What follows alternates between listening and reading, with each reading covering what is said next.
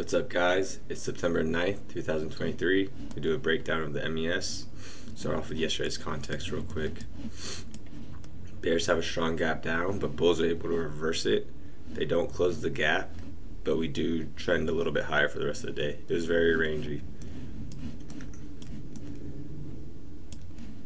I've been focusing on leg one, leg twos. One of my mentors have has been talking about it, and the more he talks about, it, the more it makes sense to from the perspective that a leg two is a higher probable trade, it's, and in terms of not getting trapped with leg threes. So it's like leg one is kind of the setup. Leg two would be like the tradable leg. That's kind of how I'm taking it. That's not necessarily his words, but let's just start with the breakdown. Bar one is a strong bull bar and with a very small wick at top. I don't think that's sellers. I think that's just like people taking profits because this was a big candle. Yeah, 10 point candle in five minutes. This is a high prob- this is a high probable trade. There are two types of trade: tight RR, low probability, or high probability, bad RR. I like high probability, bad RR trades. Bar one, I think it's a good buy. It's a high probable buy. It is forcing you to buy at the high of a range. Most breakouts fail. You have to have a wide stop. Bar two is not good for the Bulls. This is Bulls would want to see at least a one point body if it was a doji. This is not good. This tells me that there are bears in the market, or it could be a profit taking candle. We don't know yet. Bar three is a bull doji. That's good. Decent sized body, but the wicks are bigger, so this is not a trend bar. This is a range bar. Bar four, bar four is another doji. This is a range bar, and the bar, and the bulls close at the high of the range. Bear short range highs, and that's what we get on bar five. Bar 5 and bar 6 sell off to the EMA, but bar 6 rallies back up. This would be a good limit order buy for 50% of bar 1. People who bought on top of bar 1 will scale in lower to average their price. And bears are selling out because they see this as support. But bears did make money in a bull trend, so this tells me this may not be a bull trend. Bar 7 is a strong bull bar. This is a trend bar. The body is bigger than the wicks. Bar 8 is a big doji bar. It's a range bar with a big bear body. This tells me that the trend could be ending soon. Bar 9 through 12 is buying pressure and it could be seen as climactic because there are no sell there's no selling bars. Each push up had a sell bar, 1, 2, 3, except for bars 9 through 12. So this could be the end of the run. There I think there was a leg 1, leg 2 move here. From the bottom of bar 1 to bar 3 and the entry being the EMA. Yeah, so if we were able to get in on the EMA, even if we buy bar 1 and then buy again lower, Bulls, there is a leg 1, leg 2 here from the pullback.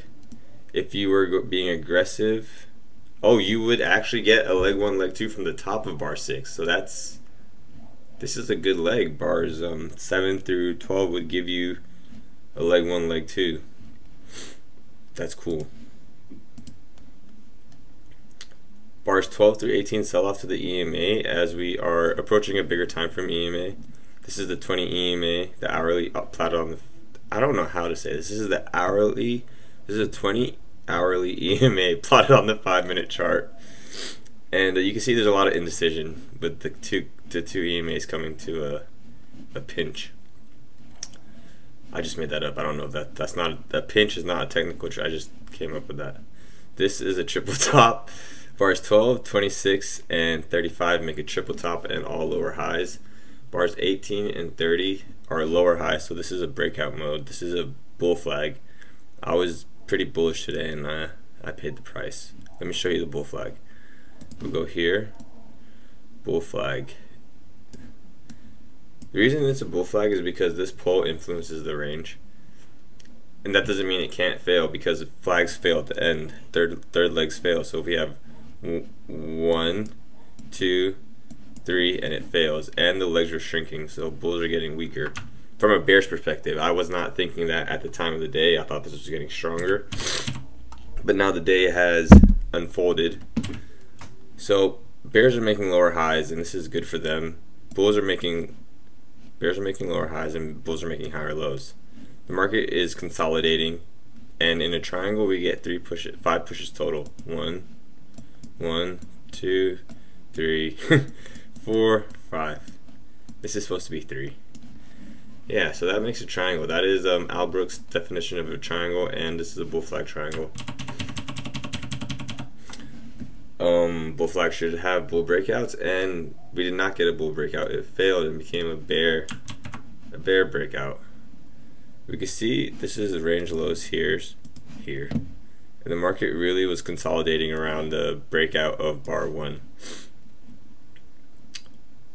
As soon as the last push on the triangle failed. Bears come down and we start to test the bar one open for about an hour, two hours, maybe an hour. For about an hour we consolidate below the EMA but above bar one. A lot of people are getting trapped. This is a limit order market. That means you set limits at lows and you scalp out. Set sells at highs and you scalp out.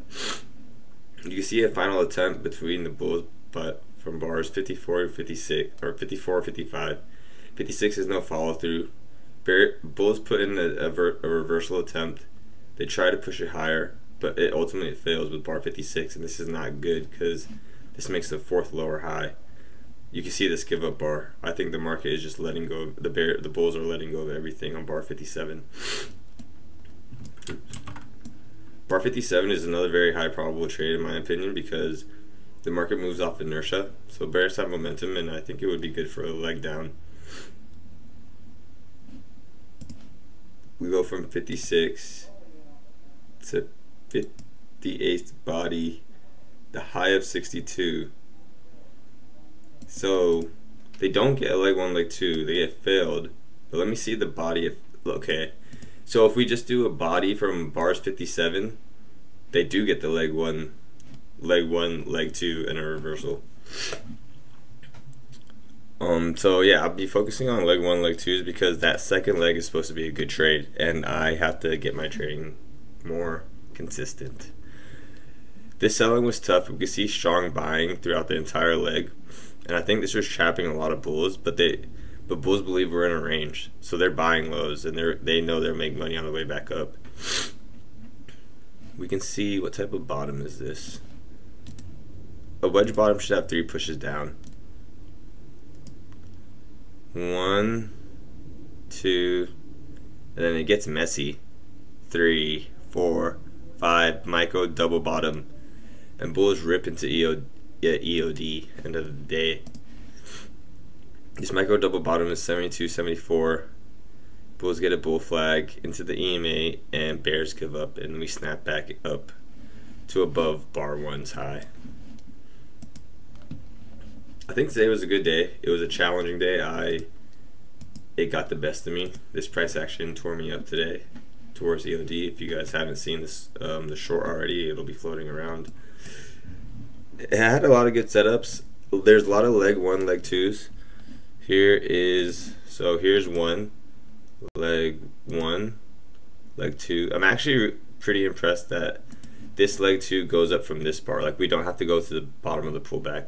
People could have bought the close and got a leg two. Is what I'm trying to say. In this type of market, that's a that's a very good trade. Be careful buying bar one. This could be buying at the top of the range and you get trapped and we just sell. I felt strongly about this because I knew we, the previous day's context was a bull channel, so I bought high in a breakout, so it was gonna go higher it became the low. So leg one, leg two here. Here we get leg one, leg two, and I think this is like leg three. But what's interesting about this is it it was the video I watch about leg one, leg twos is it should make sense. So if it like for instance does this leg make sense to be a part of this leg or is the market transitioning kind of you know what I'm saying so this is a little bit rough. I don't know exactly leg one, leg two, leg three. But if we take it from the high of this bar to the low of that bar, you have bears you you eventually do get paid, but it's a tough hold, and you it's to the tick. Um, let's check out. So that is another leg one, leg two trade today. Let's find another leg one, leg two trade. let's so let's say this is the first leg. Wow, look, even that. So this is interesting. If you guys see, this is also leg one, leg two, because, and this this trade looks easier from a holding perspective, because to get paid on this one, you'd have to sit through this double this double top. So here's another leg one, leg two. If you're fast enough on that, this box is a problem for me, and I'm trying to learn how to sit out this market condition. The only time I learn how to sit it out is after it's like time to trade it again. So here we get chopped up if we went leg one, leg two. For the Bears, leg one, leg two. For the Bulls, leg one, leg two, leg one, leg two. This is a range, really. But what's happening in this range is people are getting trapped. Bears are getting double. Bears see double tops. Bulls see double bottoms. That creates a trap. That creates a breakout mode. This is a tight range bound market, and traders should not trade it. I say that reluctantly reluctantly because I keep trading it. Anyway, so here we get another leg, and even if you miss this breakout, we still get a leg one, leg two, which is insane to me. I didn't realize there's just many leg one, leg two moves. Here's another one. So we so what this tells me is like I could have missed the beginning of every move and entered on a stop order which is like just hitting market. I've been trying to trade with limits, but hit, hitting stop order and still make decent money. Let's measure these legs. 12. This is a hard hold. 12. A little smaller here. 9. Okay. 10. So 12, 24, 34 plus 9. 34 plus 9 is, oh shit, 43. So we could have got 43 points a day with stop orders. This might not, not exactly. That's maybe like 35 with stop orders because we drop a point. We drop a point. You guys get the picture though. Leg one, there's some magic between leg one, leg twos. It's just learning how to find them and identify them correctly. I hope you guys learned something. And if you guys want to chop it up and trade charts, Follow me on Twitter, and don't forget to hit the follow button on YouTube. Have a good weekend, guys. Bye.